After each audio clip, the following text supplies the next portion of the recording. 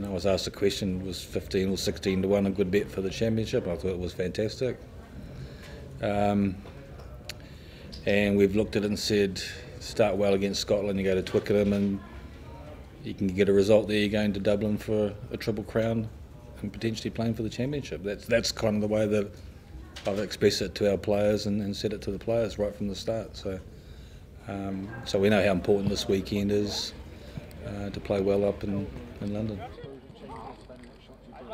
Everyone talks about how much they dislike the English, but I, I think the, the relationship between Wales and England's always been close, and yeah, it's a, it's a, it's a big brother, little brother thing, but the, that it's the rugby that brings the, the two nations together and the history of the rugby and the border games in, in the past. And so, um, know, I think that's kind of what makes that relationship special. And even though there's, I think, I'd like to think over the years there's been a lot of respect between the two nations.